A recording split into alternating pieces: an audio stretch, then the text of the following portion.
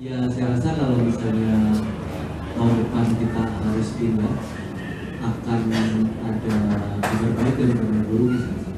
Mungkin kalau dari kabar buruknya kita uh, atlet sendiri ya, atlet sendiri sudah merasa bahwa Istora ini uh, ikonik banget dari perhelatan bulu tangkis dunia yang bermain di Indonesia pasti kita selalu bermain di Istora.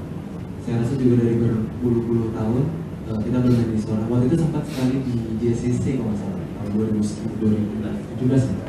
Dan itu memang beda banget auranya terus juga atmosfernya itu cukup uh, kerasa bedanya gitu. Dan ya saya nggak tahu uh, tahun depan kalau di Indonesia Arena itu seperti apa atmosfernya tapi uh, kabar baiknya adalah mungkin kapasitasnya akan jauh lebih bertambah jadi lebih banyak badminton lovers yang bisa datang dan mendukung kita itu kabar baiknya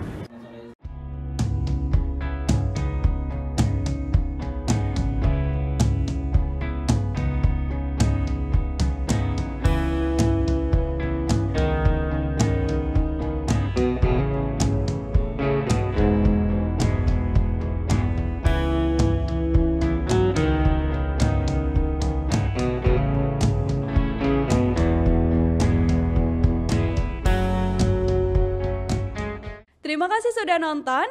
Jangan lupa like, subscribe, dan share ya.